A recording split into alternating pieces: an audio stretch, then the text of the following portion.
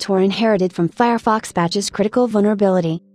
Tor by project developers have released an update Tor browser that eliminates operated in an actual attack a critical vulnerability. Tor the security problem has got to inherited from the Firefox. All users are advised to verify that their browser is updated to version Tor browser 8.5.2. On this depends on your security vulnerabilities under the identifier CVE 2019-11707. Tor Browser 8.5.2 also includes another important upgrade, NoScript version 10.6.3, which resolves several known issues.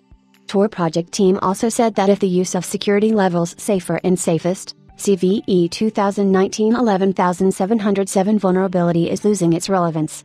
Unfortunately, the corresponding patch has not yet got the users to Android, but that promised to fix soon.